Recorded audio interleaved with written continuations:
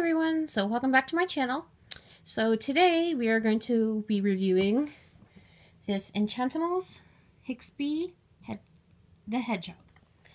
So if you look at the packaging, you can see his illustration right here. Really cute. And then we have these two cute little animal ears that look like bear ears on the top of the actual packaging. And then in the background, you can see a really cool enchanted forest.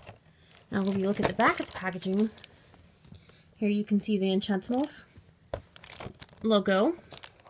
And you can read all about them here.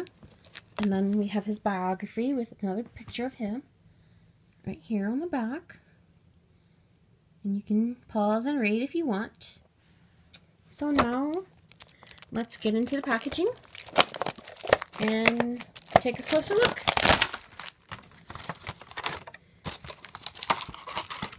Okay, so see is out of the package. As you can see, here he has these really cute orange rim glasses. And they're attached to his head with this black coat with fur trimming, brown fur trimming. And then he's got this painted on shirt with these really cute flower detailing and a cute little spotted bow tie. And then he has these long painted on sleeves. And then we go down to his pants here. He's got these nice wash wear type of jeans going on. They're also painted on. And then you go down to his shoes. You can see he's got these nice black combat boots on. These little details, but they're not painted in. And then on his face, he's got this cute little button nose. It looks like a little button. And these cute little whiskers beside his nose here, brown whiskers. And he's got this quill detailing around his eyes. He's also got these beautiful blue eyes. And then we go to his hair. He's got this spiky golden brown hair to represent quills. And he's got these two little brown ears on top of his head to represent the hedgehog ears.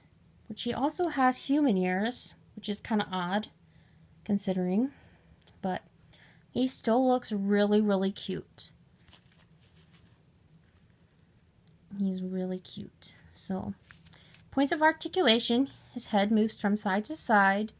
His hands do not have any articulation, but his arms move up and down. And his legs can move up and down. So he can sit.